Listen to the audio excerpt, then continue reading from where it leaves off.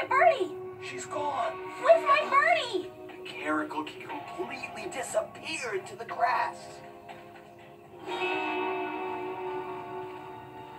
want my birdie back! That birdie was handed down through my family for a hundred years until it got to me, and now I lost it. It's not lost, just temporarily borrowed by a secretive, well camouflaged wildcat. More like totally catnapped. Don't worry, Aviva. Martin and Chris are gonna find it. Uh, yeah, okay, Aviva, we'll find it. Only catches a caracal happens to be the hardest to find wildcat in all of Africa. Yeah, and if a caracal doesn't want you to find her, you don't find her. Uh, so we'll just round up that desert kitty and bring your birdie back. Ah, everything's gonna turn out perfect.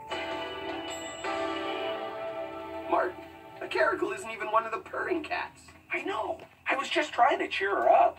I just hope we're not making a promise we can't keep.